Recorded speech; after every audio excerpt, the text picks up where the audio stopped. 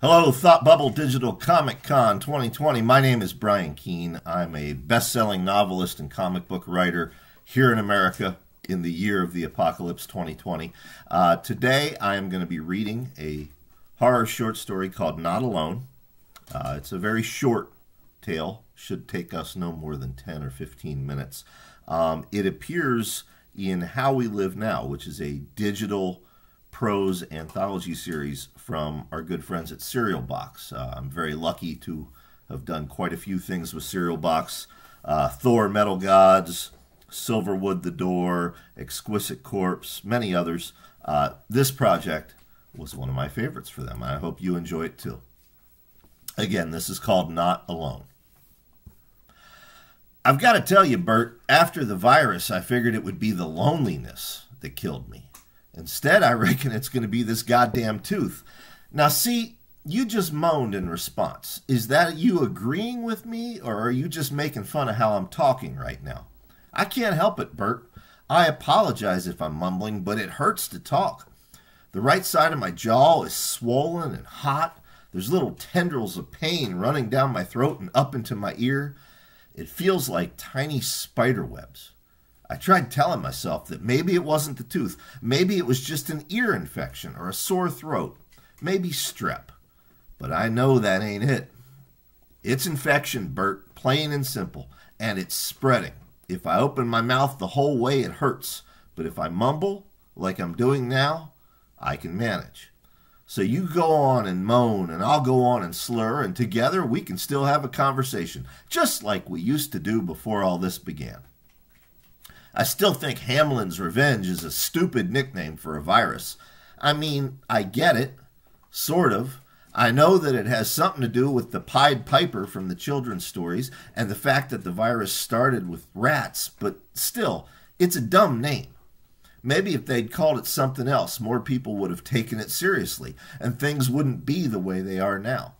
You remember when it first started, and you and me and Henry and Cecil were standing outside the convenience store having our coffee, just like we used to do every morning, talking about the news footage? Sure, the video of those rats swarming out of the subway system and biting folks during rush hour, it was disturbing, but that was happening in New York City, not here in West Virginia. And then when they told us the rats were dead and everybody started making zombie jokes, but that's what they were, as it turned out, right, Bert? Zombies, just like in the movies. Although I reckon the movies only got it half right. On television, it's just the people that come back as zombies. But in real life, the virus spread like wildfire, infecting animals and people alike. They told us to distance ourselves from each other, from people and animals. But that's hard to do when the infected don't follow that rule. It's hard to social distance from something that doesn't share your concerns in that regard. Remember how the talking heads on TV used to make fun of us, call us preppers, as if that were some sort of political thing? I guess the joke's on them, Bert. Prepping, they can call it that if they like. Rural folks like us just called it common sense. Snowstorms, floods, forest fires, these things happened on occasion, and when they did, you had to fend for yourself. I've still got enough food and supplies to last for another month. Still got enough antibiotics, too, except that they've stopped working. I'm glad Myrna isn't here to see all this, and hindsight, it's a blessing that the ovarian cancer took her three years ago. But I was so lonely, Bert. I mean, sure, I hung out with you and the other old timers down at the store every day, but when I'd get home of an afternoon, the house just seemed so empty and quiet. I'd turn the television up loud just to fill the silence, but that only works for so long. And of course, now I can't play the television at all. Sure, we could still watch DVDs or listen to music. That generator outside still has plenty of fuel. But you and I both know that any noise we make is going to attract them. It's better to stay quiet, better to have hushed talks like what we're doing now. I learned that early on into the pandemic when Sally Hanks's boy showed up. What was that kid's name? Do you remember, Bert? No?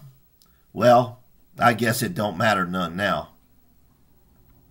It took me four shots to put him down, Bert. That don't sit right with me.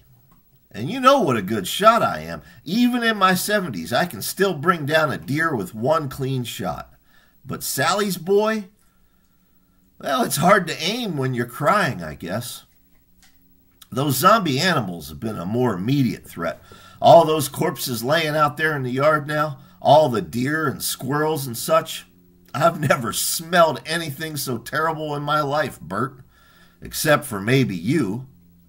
I'll tell you, old friend, I was happy when you showed up here. I mean, it broke my heart that you were one of them now and that you were only here to eat me, but I was still glad to see you in some weird sort of way. And I'm sorry again about putting you in the dog cage. Trust me, Bert, that was as tough on me as it was on you. Even with that makeshift tool I rigged with the broom handle and the collar so I could keep my distance from you, Wrangling you was like wrestling with a bull calf when you're about to turn it into a steer. Nearly thought you had me a couple of times. But it all worked out okay. You've got room in there to move around, even if you can't stand up. And I was able to drag the cage in here to the house, even though you gnawed at my leather work gloves through the mesh the whole time. Good thing you didn't have your dentures in when you died, right, Bert? I threw the gloves out, of course. Can't take any chances about infection.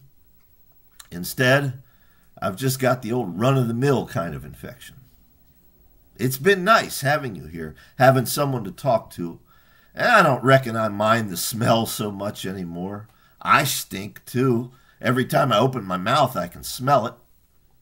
I remember how my dentist used to make such a big deal about the fact that a person my age still had their wisdom teeth. I guess that's not very common, but boy, do I wish I didn't have them now. It started hurting me two days after the government ordered everyone to shelter in place. I kept the pain manageable by switching between Tylenol and Advil and with the bottle of bourbon atop the kitchen cupboard. But getting rid of the pain doesn't get rid of the problem, Bert. And that's where we are now. I had antibiotics. Like I told you, I have them still. I got them at the pet store. It's amoxicillin for fish tanks, but it's the exact same kind they give human beings. I took a 10 day dose of those and they worked pretty well. I thought it was all over with. But then the infection came back and now the pills aren't working. I reckon the bacteria has built up an immunity to them. I remember when I was little, my grandmother used to make a tooth tonic out of lavender and skullcap, both of which grew wild in the hollow around her place. I thought about heading out into the woods and looking for some, but we both know I wouldn't get very far. If it was a regular tooth, I'd soak my needle nose pliers in rubbing alcohol and yank it out myself. But you can't do that with a wisdom tooth. For that, you need a surgeon. And I don't reckon there are any of those left alive. And even if there are, we have no way of getting to them. So, that's where I'm at. I'm glad you're here, Bert. I was so scared of dying alone. It's a comfort to know that that won't happen. But I don't want you to be alone either after I'm dead. I ain't been bit. So if the folks on the news were correct, I won't come back as a zombie. I'll just sit here in this chair rotting. And that's not fair to you because you'll still be stuck in that cage. So, here's what I'm going to do, Bert. Listen up. I don't know if you can really understand me or not, although I reckon a part of you must still have some sort of memory. Why else would you have walked all the way here after you died? There's a part of you deep inside that decomposing brain that must remember we were friends. In a minute, I'm going to take that pocket knife there on the end table and I'm going to cut my finger open. I'll make it wide and deep, make it easy for you. Then I'm going to stick my finger into the cage. If you're still my friend, all I ask is that you make it quick. Like I said, you don't have your dentures, and I don't fancy getting my finger gummed by you for the rest of the day. So just be quick about it. Get your spit into the wound. Let's use the virus to combat the other infection. And when we're done, I'll unlock your cage. Then I'll go into the bathroom and I'll wait to die. I hope you're still here when I come out again. I hope that we remember each other. And I hope this works and that the pain goes away. I hope after death that I'm not alone. So there you have it again. Title of the story is Not Alone. Uh, you can find that at serialbox.com. That's S E R I A L box.com. That is part of their How We Live Now anthology. Uh, Thought Bubble UK, thank you again. I've been Brian Keene, and I appreciate it. Enjoy your day.